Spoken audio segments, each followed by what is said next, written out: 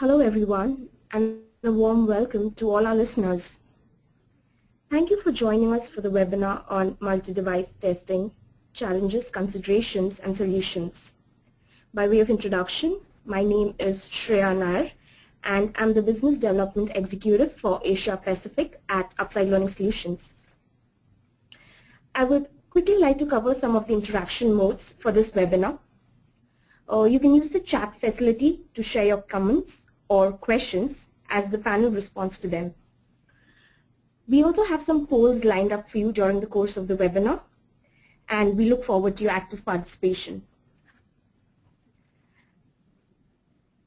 Now I would like to give you a crisp introduction on our company, Upside Learning Solutions. For over 10 years, Upside Learning has been helping organizations across the globe belonging to varied industries manage their training goals. We have been successfully delivering a wide range of innovative learning and technology solutions. Headquartered in India, we have our presence across UK, USA, Australia, Middle East, South Africa, and other countries. Um, our innovative learning solutions include our award-winning responsive Upside LMS, our multi-device e-learning, multi-device testing lab, custom e-learning and custom M-learning solutions.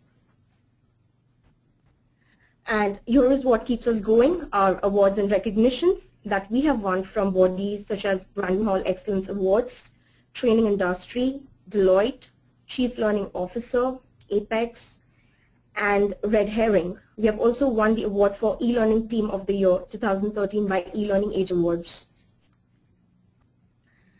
It's my pleasure to introduce to you our key speakers for today, Geeta Bellare, who is the AVP uh, Learning Design at Upside, and Jeevan Joshi, Director of Client Solutions, Asia Pacific. Alright then, let me quickly take you through the agenda for today's webinar. Starting off with the answer to why multi-device testing, we will be moving on to talk about some key challenges and um, today's uh, that today's L&D teams are facing and ways to overcome these challenges through testing tools and simulators. Uh, we would finally be moving on to giving you a quick introduction on Upside Learning's multi-device testing lab. Uh, moving on to some key factors uh, that have urbanized the multi-device ecosystem.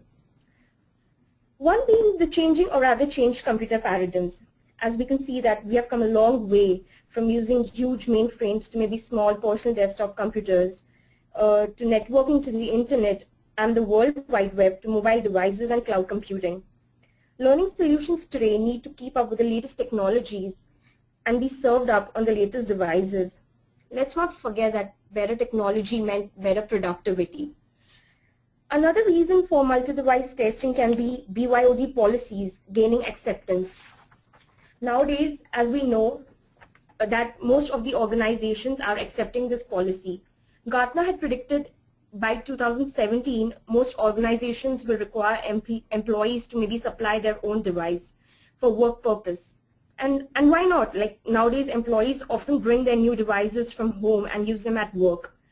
Everything from, from tablets to phablets have, have entered the workplace and employees no, no longer like wish to carry around two separate machines and instead they practically would like to club their uh, machines like maybe for personal and professional use rather than carrying around multiple devices. So uh, better technology at you know competitive prices have made policies such as BYOD practically possible and gaining more acceptance by the day. Uh, one of the other reasons can be you know changing work trends. Nowadays it's all about flexible working a trend that uh, that you know emerging technologies outlook program had predicted that uh, that way back in 2001 this includes like flexible timings schedules telecommunicating from home uh, contracting and um, another report that top 10 workplace trends for 2014 written by Dan Schawbel had predicted that freelancing will become a normal way of life to the extent that there might be more freelancers, contractors, and consultants than full-time workers that we experience these days by maybe the next coming six years. So now the, the, the, real question lies in that have organizations proactively created a flexible environment to deal with the changing work trends? This means your training and performance support material has to be multi-device ready so that it can easily be accessible to your entire workforce, no matter where they are, when they choose to work, or what devices they use. Uh, another reason can be like the increasing number of millennials entering the workforce that has led to a significant use of multi-device.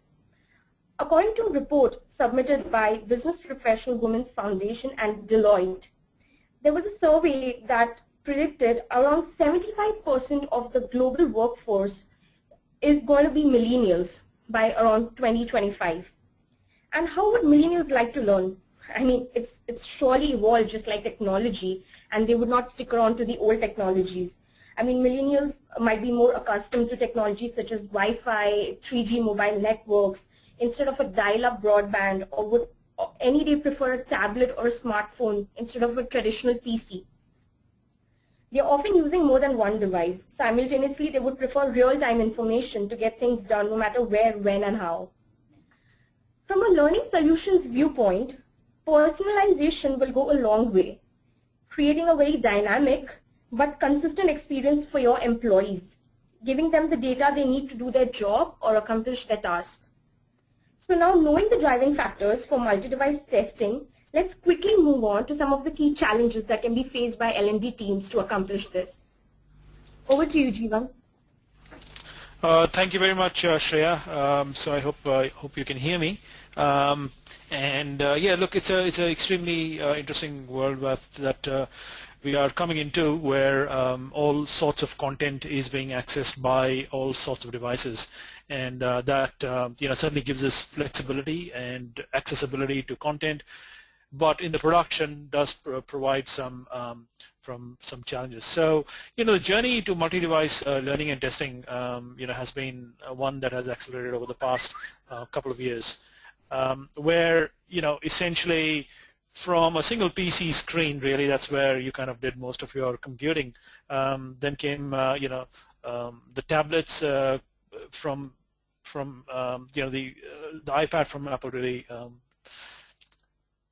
increased the volumes of tablet usage. And uh, thereafter what's also happened is that smartphones came and within the tablets smartphones desktops phablets and all the other variations there were also lots of screen variations, operating systems. Um, so just that just the number of devices that we have the ability of accessing content through has increased uh, manifold times. Uh, which is which is great for uh, for people. They've got more choice. It may not be so great for people like us who are uh, interested in delivering for a certain budget. Uh, it just makes it more, um, I guess, a little bit more challenging to um, to make a good good product. So the first poll, and I'll ask the team to bring the poll on the screen when they're ready, is uh, how much experience do you have of multi-device testing? And this is just to get some sense of how many people are actually involved in testing and multi-device testing, uh, you know, versus others who might be uh, learning specialists. So uh, if we can launch the poll, um, that'll be that'll be fantastic at this point in time. Okay, so um, the polls um, the polls are coming up, and uh, it'll be uh, we'll just close after some time. Yep so if we've got enough responses uh, if we can close the poll that'll be that'll be great. Thank you very much and let's uh, share the results. Uh, you know essentially you can see the results there that uh, you know um, there's uh, yeah basically the last two choices are the ones where um, it's it's available so um, thank you very much for that. It actually does help us uh, in terms of just understanding where you where you're coming from. Okay. Uh, second poll, um, and look, um, I think this is um, it's a little predictable. I'm sure a lot of people use multiple devices, but let's launch the poll in any case, and just get a sense of uh, get a sense of uh, how many devices have you tested, and um, I'd like to see especially the last response, uh, tablet, desktop, and smartphone.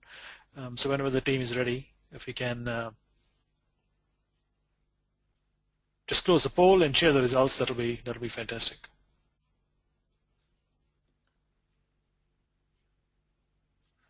Okay, I think uh, probably time to close the poll and wait for that result coming through and sharing.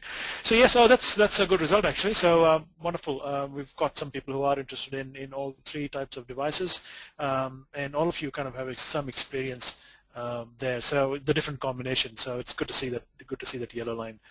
Okay, so if we can close the poll and move on to the next um, screen. What you'll see in the next screen, though, is is uh, something uh, which is looks like a peacock actually, but um, it really is a depiction of the various combinations that us learning technologists and learning specialists are faced with in this multi-device world. Uh, what we've got is essentially different screen sizes. Uh, that's the the second most in a circle there and uh, you know I just got a Samsung 7-inch. Um, I've got an iPad 10-inch. I'm getting used to the 7-inch. Um, I've got an Apple iPhone 5 uh, will be moving to a 6 very soon, and it's just amazing the number of screen sizes that are available. Uh, just not um, screen sizes, but also tablets which can be added to the keyboard. It becomes a laptop and uh, it's just um, amazing the amount of uh, variety that we have. Um, next is really the browser. So there are obviously some browsers that uh, dominate and all. We have some stats on the slide coming up next, um, namely you know Firefox, Chrome, and Internet Explorer. Um, but uh, and of course in the Apple world uh, you've got Safari. Um, and uh, in terms of the different platforms and operating systems, huge amounts of operating systems. So, you know, within the Android, you've got different variations. Samsung has customized quite a bit the Android. Uh, we've got Windows making a strong comeback. Uh, Apple's, of course, as strong. Um, BlackBerry seems to making a little bit of a comeback. Maybe it won't be as, as strong as it was before. Um, for all of these different combinations, um, you could, uh, you know, you have to test con content and functionality, usability, compliance, uh, you know, for browsers, etc., and also performance. And uh, in the subsequent slides, which I think we should get to very soon, um, Geeta will talk about, you know, the subtle differences that you'll see on the screen that we'll share with you, and it is uh, it just uh, demonstrates the challenges for testing.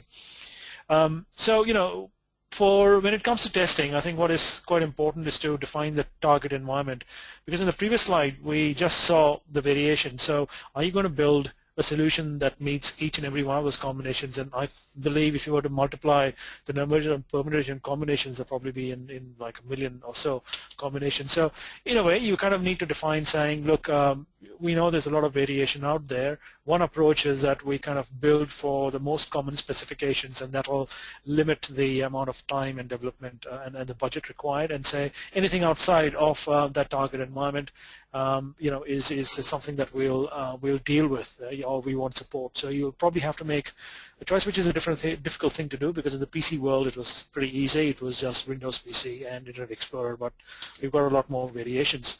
Um, just looking at the, uh, the statistics which the team has uh, put together is uh, you can see that Chrome um, has uh, 60, almost 62%, IE has 77.8%, Firefox is 23.4, Safari is 3.8.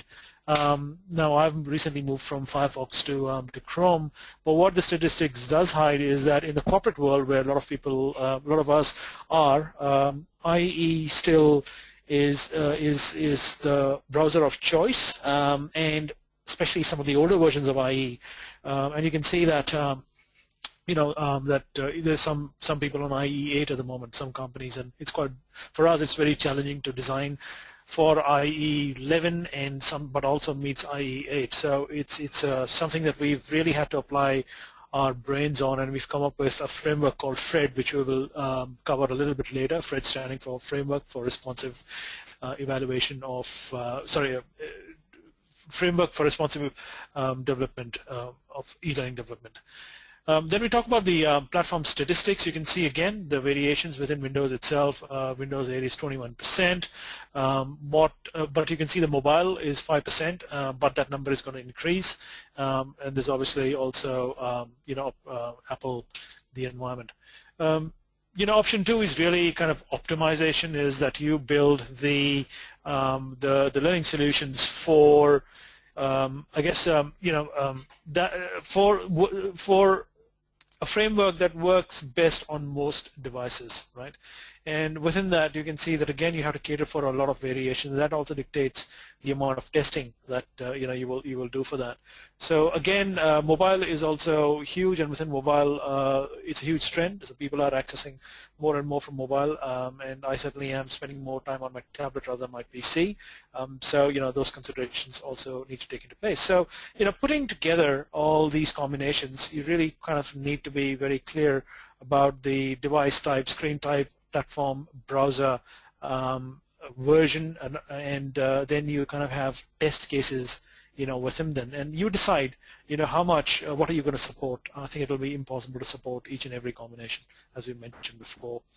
Uh, also, you know, defining the, the target, uh, you know, environment uh, is, is the next phase where we talk about um, the, you know, what the physical devices. So do you actually have those devices that are listed in the testing matrix available to you? Um, you know, can we use tools and simulators to cover the missing ones? So, you know, there have been instances where instead of actually having the, the physical device, you can use a simulator. Um, and that gives, interestingly, the answer is uh, a lot of the times you could, but a lot of the times also you cannot you cannot replicate the experience of an actual physical device on a simulator. And there are, we found instances where uh, it looked okay on the simulator, but uh, you know didn't didn't work that well on the actual device. So you can imagine if you're doing testing with all those screen and operating system combinations, you really need a big, big collection of devices, uh, which um, you know which obviously keep changing every six months. Um, so you can imagine the kind of infrastructure that's required to have all those devices in place in your organization. Uh, and simulators are of some help, but uh, not much. So in our experience, actual devices are set up and very much required for accurate and comprehensive testing results. And we have actually set up a lab uh, which um, has all uh, the major devices uh, with different versions, different operating system, different screens, which really allow, allows us to uh, you know do fairly robust um, testing. secondly, to back up this um, this fairly extensive lab, uh, we also have a lot of experience and effort um, in terms of testing, and because we do build a lot of online courses, especially for uh, for uh, for devices, mobile devices, all that experience comes into play in terms of not only defining the test cases but also testing uh, and you know hopefully also resolving some of the issues that might come up during testing. So um, for example, you know the smart use of keywords is something while logging issue is something that we use to make sure that, uh, that we're able to identify issues very quickly. Um, and uh, you know we do uh, have, you know we because we have a substantial substantially large team uh, for for testing uh, you know we are able to kind of test and retest and re-verify you know pretty much all combinations so I guess the, the message there is that uh, moving into this multi-device world from a PC world which was based on Flash uh, was very very easy um, but we are moving so fast. In fact, we're not moving fast. We're being dragged into the multi-device world by our learners and our consumers, uh, which means that the amount the the effort, the sophistication, and the uh, the budget required for testing um, is is going to be is going to expand, and that's where Upside provides uh, that service, and we'll cover that a little bit later uh, in terms of uh, uh doing that for you. What I'm going to do now is uh, just give me a second while I now hand over the presentation um, to um, Geeta and who will take and actually go into a lot of detail and I actually do love this uh, part of the presentation where um, we delve into the nitty-gritties of testing. So over to you, Geeta.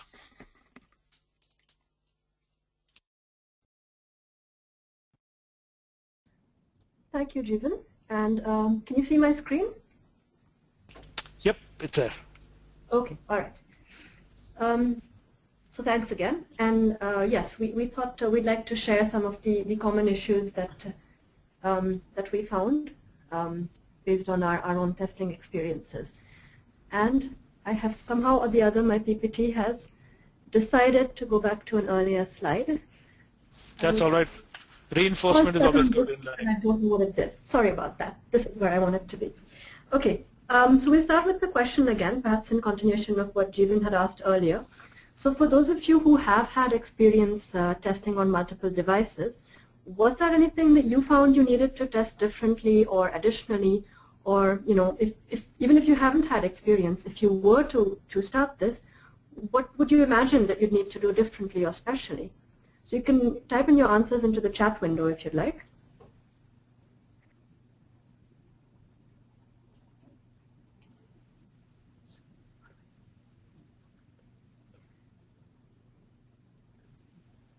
Okay. Um, so maybe we'll just move ahead and you know if, if, anything does come up that you'd like to share, please do go ahead and, and, and put it into the chat window.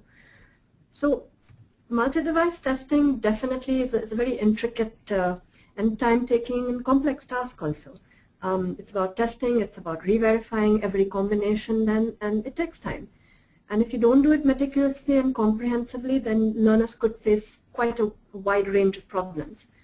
Um, so as Jeevan had shown this uh, peacock, as he called it earlier, um, these are the four broad categories then of, of testing, and we've tried to list the parameters that we consider uh, and that we test for under each of these categories. And we like to then give you some examples under each of these categories. Uh, the first one then relates to browser differences. And um, by this, essentially, we're referring to the fact that every browser would have its own HTML rendering engine and interprets JavaScript a little bit differently. And that's what can cause inconsistencies across browsers. And we have come across content, uh, functionality, and even usability uh, inconsistencies then. Uh, so here's an example. Uh, this is two desktops running the same operating system, but uh, different browsers. Uh, so we got IE and Firefox, IE 10 on Firefox, you can see that uh, the Tower First logo, so that image is displayed correctly. It's positioned in the center and it's complete. And on IE10, it's, it's just, you know, the alignment has gone off and it's getting cut. Um, here's another example. This is a video actually that's playing. And uh, again, desktop, Windows 7, but again, two different browsers. One of them here is IE8. Um, in IE8, you can see that the, uh, the video has shifted down its control panel has actually gone and shifted underneath the controls of the course. So one is visual misalignment, it doesn't look great, and the second thing then is that this is going to inter interfere with the functionality uh, from the learner's viewpoint. Uh, here's another example, again, of functionality due to misalignment. So um, here, the, the white rectangles that you can see in the left screenshot, they have shifted out to the right, so they've gotten misaligned. Uh, so visually, again, that obviously looks untidy. But it just so happens that on this particular screen, these white rectangles are hotspots. So they're supposed to be points of interaction for the learner to go into any of those sections, section 1, 2, 3, or 4. So with them becoming misaligned then on one particular combination, um, the learner would find that there's an error then um, in the actual functionality of, of that screen. Um, another aspect related to browsers and specifically to Internet Explorer is about the, the level of HTML5 support. So IE8, for example, has very minimal support for HTML5 elements, while IE11 has complete support. So um, here we can see that IE8 doesn't support rounded corners. So what we get then is, is, is a button with sharp edges, with a rectangular button. So from a testing viewpoint, again, when it comes to multi-device testing, it's also important to, to know that in such a case, this is not necessarily an issue which needs to be logged. This, there's, not, there's nothing wrong here. This is something that is done intentionally and um, that is it's coded in, in a way that uh, you handle HTML5 support and you have fallbacks or different ways to handle um, what is not supported by HTML5 elements depending on what the uh, configuration is. So yes, as a tester, then we, we wouldn't be logging something like this. So we wouldn't treat it as an inconsistency. Image quality, again, is something uh, that we noticed was different uh, across different combinations. So here we have two desktops, same operating system, different uh, browsers, and iPad.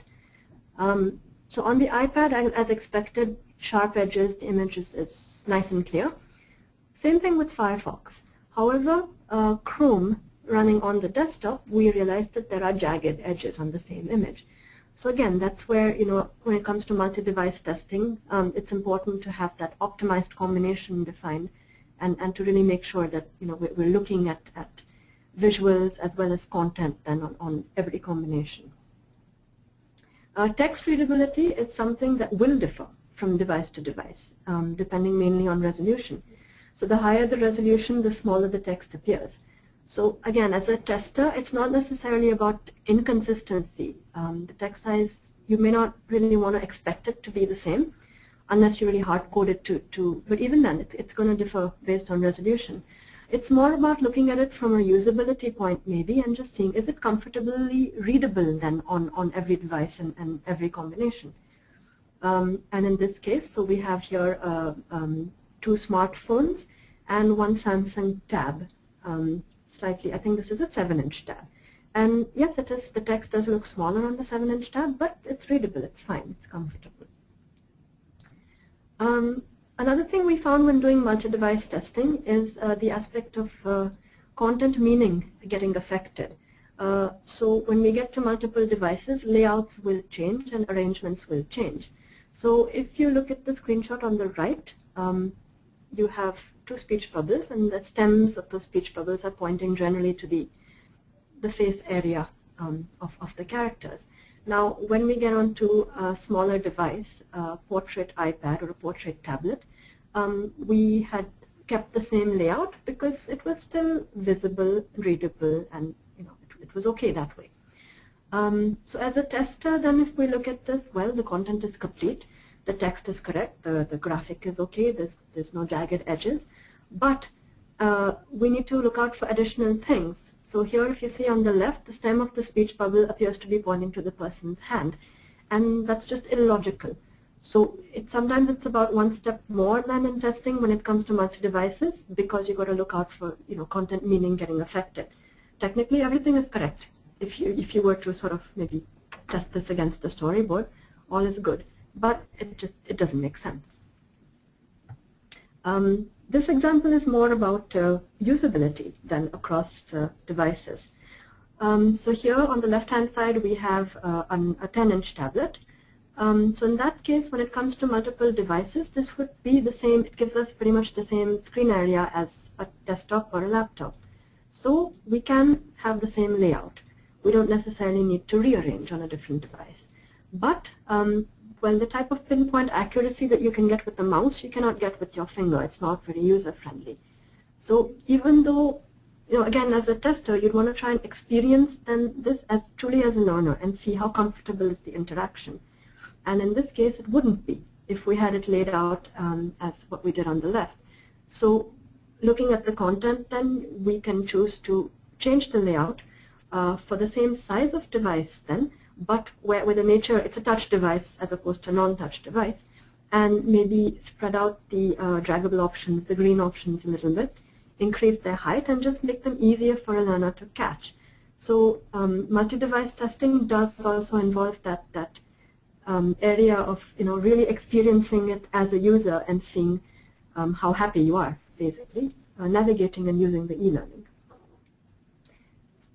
sorry, um, here's another aspect, um, again, which relates to interactivity. Uh, so on a desktop, um, the nature of the interactivity is that you drag and drop uh, steps in a process to rearrange them, to put them into the correct sequence. And on a desktop, you can see all the steps at one point, and so it's easy to sort of pick it up with the mouse and, and put it into a different place. When we get onto a smaller, the smallest device, then smartphone, we can't see all the um, steps at one point. And so if we needed to pick up one, we'd sort of need to drag it down, down, down, down, down as we pass through the steps and then decide where to release it, which may not be the friendliest of interactivities. So um, in this case, yes, that's something to watch out for as a tester. And um, what we then choose to do as a part of our responsive design is to change the nature of the interactivity. So on a smaller device then, um, rather than drag and drop, uh, you have arrows for each step and you can sort of move that step up or down um, in relationship to the above, to the step above or below it uh, to rearrange it. Um, navigation cues also is possibly an additional aspect that comes in when we're looking at multi-device testing. So again, if you put yourself in the learner's shoes, do you know what to do when you're on each of the different devices? Do you know how you're supposed to interact with the content? So either it's intuitive, um, depending sometimes on how used to um, you know that device we are, um, or or maybe we need to be clearer. The design needs to be clearer. There need to be visual cues Um, and again, the visual cues then will need to be device appropriate. So here is something that would be a good visual cue for the nature of the interactivity on a tablet. But the same interactivity, if we had it on a desktop, we wouldn't be able to, you know, swipe to rotate the car. So we would probably want to put in maybe a slider or some, some types of buttons then to rotate the car. And we would then need to have a different um, visual instruction or, or visual cues then uh, for a desktop device. Um, navigation was another big usability point um, what, that we found when, when testing for, multi, for designing and testing for multiple devices. Uh, so on larger devices, you could show the whole GUI, you could show all the controls and you know up at the first layer. Um, when you go onto smaller devices, it won't all fit. It would get really squished and again, usability viewpoint, you wouldn't be able to really interact with those controls. So we found that it's useful then to um, layer our controls. So upfront, keep the most commonly used controls, and then at a second level, then layer the controls. And again, you know, as testers, so while these are design aspects, as testers, these are aspects that we, we needed to look at also while, while doing our multi-device testing. Um, and we could also then give feedback um, to programmers uh, because we're actually experiencing then the, the convenience or the inconvenience of, of uh, taking the learning on, on different devices. Uh, when it comes to compliance testing, you know, it could be SCORM, AICC, or um, nowadays XAPI, or tin can. yes, we needed to check that on multiple devices. Um, for typical parameters, then like um, bookmarking, um, status, score, etc.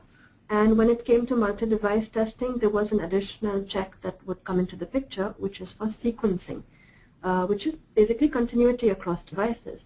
So if I start something on a smartphone and I continue it on a desktop, can I continue from where I left off? Does it, you know, does the e-learning remember where I left off on, on the smartphone and, and do I then get a seamless experience? Um, sequencing will only happen if the same LMS is accessible from all devices and probably if the learner is online then um, each time, you know, when, when accessing the, the e-learning from each device or if there's some kind of offline player compatibility, you know, that the LMS um, offers or if the LMS has its own offline player or, or mode or something like that. Um, so yes, sequencing may or may not be a parameter to test with multi-device testing, depending on, on, on the technology and, and the um, specifications. Um, performance testing is, is, another thing that might have certain additional parameters when it comes to um, testing for multiple devices. And one of them is to see how interruptions are handled. So if you're on a phone or a tablet and a message comes in or a phone call comes in, how does your e-learning behave? Is it able to handle that or um, not? Which is not something we used to have to test or test that much then when it comes to a desktop. Um, again, in, in, terms of you know poor performance, connectivity um, would become a parameter. So each device or each device type is connecting maybe in a different way and um, sometimes through different uh, strength of connection. Um, and so it might differ. You might have a good experience on a tablet, for example, connected you know, through Wi-Fi, but somehow on, on, a desktop it doesn't work that well through, through the broadband. So again, different considerations that come in. And sometimes package size is also a consideration um, related to connectivity in a way. But then as a tester, maybe you know you, you want to look at that package size and even get into it and see, uh, look at, for example, the number of images that are in the package and, and the size of those, those image files. Maybe that is contribution, contributing to lower performance in some cases. And then that's a feedback then that you know goes to the development team in terms of how could we make this package less heavy. So that's sort of uh, maybe a quick glimpse into some of the common issues that we we encountered um, while while our team was was testing on, on multiple devices. And uh, for us, a lot of this learning then came um, while developing uh, and testing our, our um, FRED framework. So uh, earlier Jeevan did mention that uh, tools, that we, we used some testing tools and simulators and um, we found that they could be helpful in, in some ways. Uh, the tools and simulators that we did explore were, I think, designed um, you know, for, for testing websites um, on, on multiple devices and not really um, catered or specifically um, made for testing e-learning. Um, but nevertheless, we still thought, well, let's see if you know they could be useful in any way. So again, we'd just like to share what we found them to be useful for and where we faced, um, again, maybe limitations or challenges when it came to testing e-learning on multiple devices. So the first tool we tried was GhostLab. Um, this is a tool that allows us to, to wirelessly pair um, iOS, Android, Windows, and BlackBerry devices to, to a main computer, and then carry out synchronous testing. Um, so again, with GhostLab, the, the, the great thing is that it's on actual devices. So you're connecting up then a whole set of actual devices so that you can there are you can get that experience um, that you get on a real device.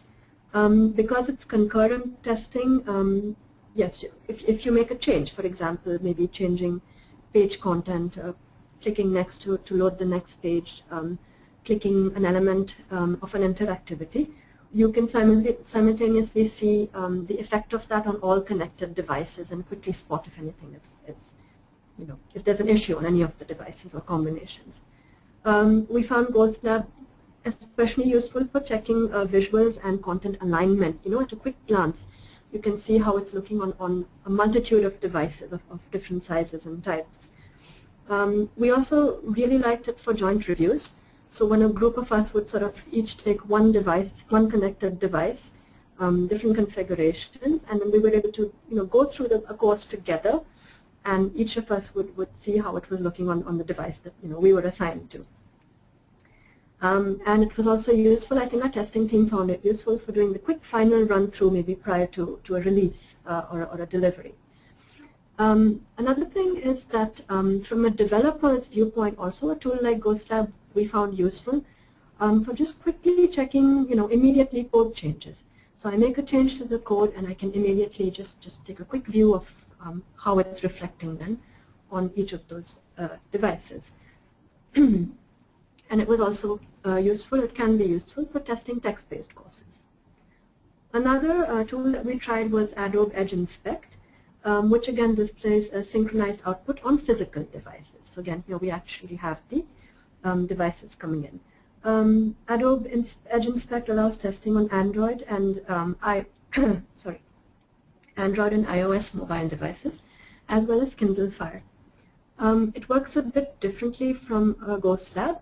So you need to install the main application on a desktop computer, and then you launch the course on your connected uh, devices through Chrome browser. And then you can access the synchronized course uh, through the Edge Inspect app on your connected devices. I'm sorry, you, you, you launch it on Chrome on the desktop and uh, through the Edge Inspect app on connected devices. Um, so Edge Inspect loads only HTML pages. So if you'd like to control course level navigation uh, synchronously on, on all your devices through the main desktop, then you'd need to be looking at something that has a separate URL for every page. Um, so this makes uh, this tool efficient for testing, you know, for example, Lectora-based courses or, any other HTML courses where, you know, each page that are structured so that each page has a different URL. Again, for page level interactivities, you can synchronously control and look at them um, you know, through the main desktop, providing your content, uh, whatever appears on, on click, um, is available on a separate URL. Um, so these are the two that we tested, and um, here's what we found challenging, maybe, from, from an e-learning viewpoint. Uh, one is, um, well, of course, it's difficult to keep your eyes on so many devices at the same time. So while you can see the end state um, of what has loaded, you may not be able to watch the actual loading on, you know, at the same time on so many devices. And um, a lot of our e-learning courses do have audio. Um, some have audio that just plays through, and a lot of them have audio which is synced to what's happening on screen. Now that's something that you cannot really test um, synchronously. There's no way that you can look at how the syncing is working on different devices at the same time. You really have to go one at a time. Um, we also found it inconvenient to test uh, certain types of interactivities, although uh, we must admit that that could be because of our approach to responsive learning. So we discussed this example before where the nature of the interactivity changes when you go onto a smaller device. So now what happens is if I drag and drop you know, on a connected uh, tablet, nothing really changes, then um, I'm not sure if you noticed that, but something has changed in the sequence here on the tablet.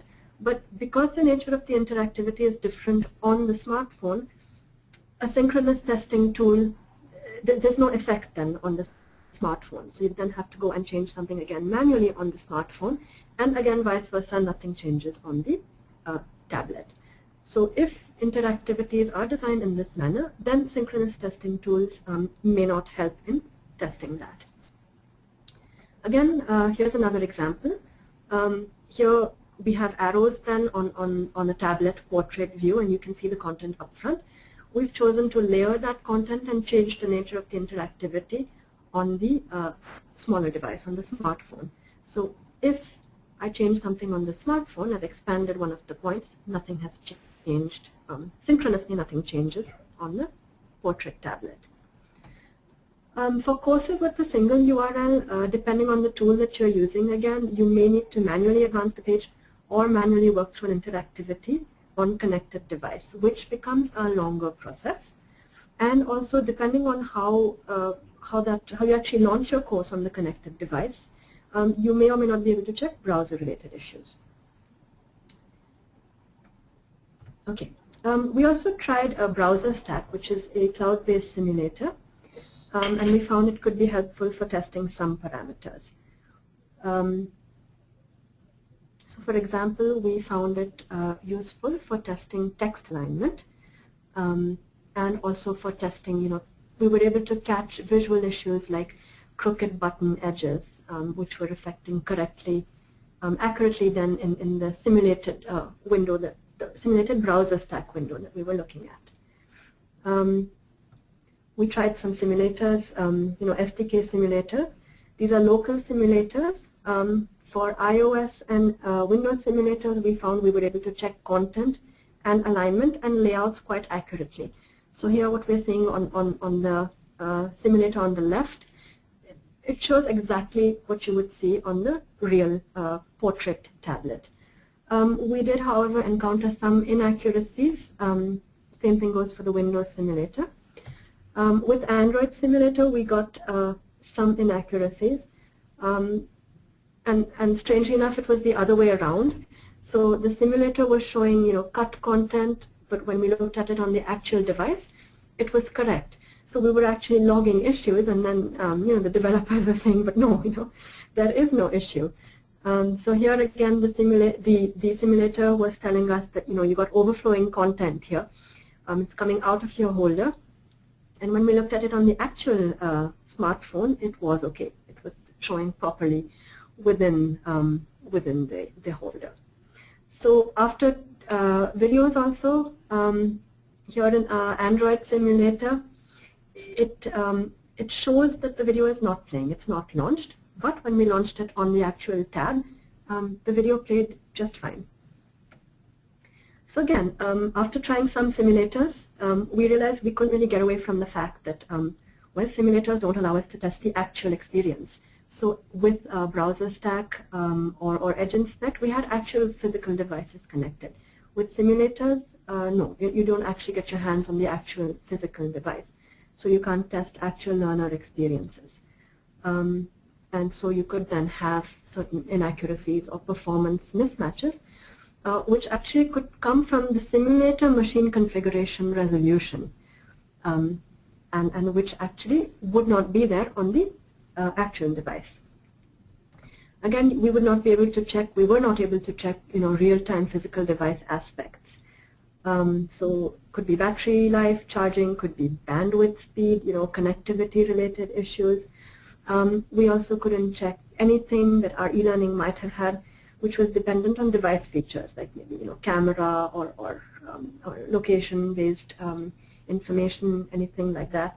Um, nor could we simulate interrupts. Um, and finally, while our e-learning obviously has a lot of custom interactions, and when it comes to multiple devices, you'd have touch devices specifically, you'd have gestural navigation coming in. And with the simulator, then you cannot have the actual tactile experience. You can't evaluate that on the device. Um, additionally, with specifically with cloud-based simulators, sometimes content loading or the speed or the smoothness of animations can vary uh, based on the connection. So again, sometimes we found ourselves, you know, logging issues. Um, so content wasn't uh, completely displayed or we were not able to click on the button um, in a question, uh, sorry, an option button in, in, a question. But that wasn't actually an issue, it turned out. It was because, you know, the content just hadn't loaded correctly then on that simulator because of the speed of the connection.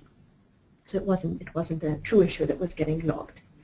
Um, and yes, that can also cause some interactivities uh, to be difficult to test.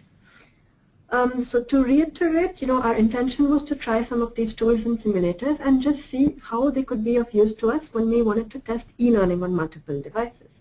Um, so they were created for testing websites. And yeah, they have, some of them can be useful for test, testing certain aspects of um, e-learning. Um, and, and for certain other aspects, and on the whole, uh, we found that you know we, we needed to have those physical setups and combinations and do a certain amount of manual testing on those. So at this point, I'm going to hand back to Jeevan uh, just to tell us, to tell you a little bit about our multi-device testing lab. Um, Jeevan, over to you.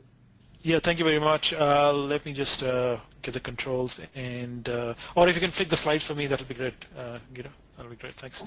Um, yeah, thank you very much. So look, um, I think the you know the, the, reason why we thought we might um, set up a testing lab is to help our customers focus on um, the the value-added activities, you know, which us uh, technology and learning professionals are involved in, which is you know kind of analysis, design, etc. And and you know, testing is such an important uh, aspect of the whole development process, but one that uh, you know uh, can be uh, done. Uh, you know, I guess by people who have the right infrastructure and the expertise, and doesn't really value add as much as some of the other parts.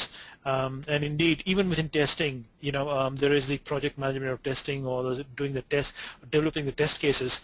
Uh, you know, certainly, um, you know, um, I think I think it is um, a real um, a need for a service provision that has all those combinations and infrastructure that's required and that's what we decided to do was actually set up a lab because we've been I guess uh, leading the way in mobile learning and we have come across all the issues and we know what's going to happen uh, from from experience and as you can see from the screenshot is that we do actually have the infrastructure so different tablet sizes uh, operating systems, uh, etc. Um, so this is a, lab, so it's basically a, physical room, uh, and uh, you know there's a team that you know um, sit in the sit in the lab and uh, test according to all the different devices.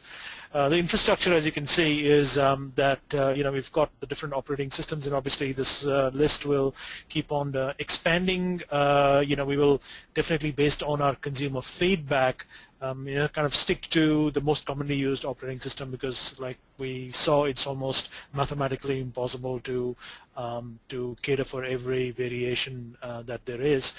Um, so we've got this list of uh, infrastructure and, uh, of course, increasing. Um, that uh, that that list will increase. Uh, but I guess what is really more important, as I mentioned, was really that we've got a lot of experience. We've got about 10, the company is 10 years old, so we've been developing courses for, um, online courses for 10 years for companies all around the world. Um, and uh, you can see that, you know, we've kind of have more than 10 years of Flash-based output uh, development capabilities, but um, at least I can speak from Australia and in Asia Pac. I think I in the past one year, we've not built a single course that was in Flash. They've been all HTML5 with some combination of HTML4 courses. So we have definitely moved into the uh, the HTML and the multi-device world. So you can see that uh, while we've got uh, had a Flash legacy uh, for uh, more than three years, we've been we've been, I guess we've taken the the lead, the, the lead on building and testing HTML-based uh, outputs and, and courses. Uh, so we've got the experience, um, and uh, we uh, I think one uh, case study or one example uh, that we've done for a customer recently, just to relate a story, is that one of the courses that they had built, uh, which was deployed on, on, on a SumTotal system, wasn't operating properly, so this, the completions weren't coming back, and they weren't quite sure if there was something wrong with the coding in the in the course, or there was something wrong with the the network. you know, so they gave us a course, and we did and tested pretty much the code and optimized and and you know did all the things. And uh, uh, you know despite that there was an issue. Um, and then the the conclusion that the, the customer got to was that it's not the course it's something to do with the network and they got their IT people involved. Um, so yeah so we've been also involved with uh, another Australian company in terms of uh, you know testing their um, their um, their I guess they're flash-based courses to see how much of it would work on what kind of devices and how much effort would be required to convert that. And that's another area that we're doing a lot of work is the bulk conversion of flash courses into into HTML. So um, you know that's um, it's um, the the one thing that uh, if you can go to the previous slide was uh, something that we is the FRED uh, framework uh, that I want to mention um, is that standing for the framework for responsive e-learning development uh, is something that uh, we've built based on all the challenges and issues that we've you know faced building courses for the past uh, more than three years now. Um, so I will take you to the uh, the process next, uh, the next slide, and essentially this is the process. So what we do is, uh, you know, um, we we start from any point in the testing cycle. So no matter who builds the courses, for example, you, somebody, somebody else has built it for you or you've built it yourself, you can actually give it to us and we'll take the course away and test it as an independent um, testing agency. Um, and to do that, we obviously will have a discussion with you regarding your requirements and the uh, the the, um, the operating system, etc. Um, so we'll understand your requirements and then um, you know put together a test strategy um, and get that approved by you before we actually commence the testing. So then we get into a test cycle execution and uh, we um, we probably should have shown a, a sample report of, of what we deliver, but certainly it's a fairly detailed report of all the testing that we've done across all devices uh, with um, you know some and you know we sometimes we go beyond our mandate and if we do find a problem we can even suggest what the solution may be and we're happy to fix the course or you can you know send it back to your vendors or fix it yourself.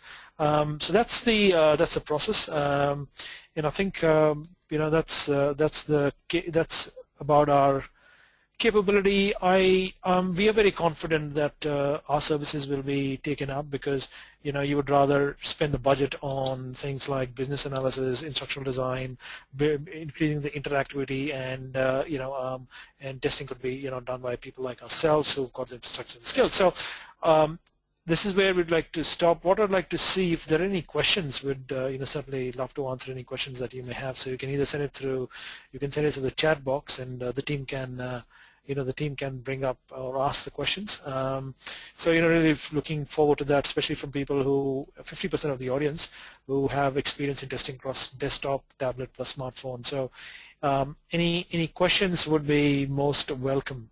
Uh, so put them on the on the chat, uh, and we'll wait uh, wait for that for a few minutes. Okay, so um, yep, so I'll just type in here. Or you know, even your experiences, or uh, you know, if you've got any scary stories to tell us, that'll be uh, that'll be good. So uh, certainly welcome any questions that you might have.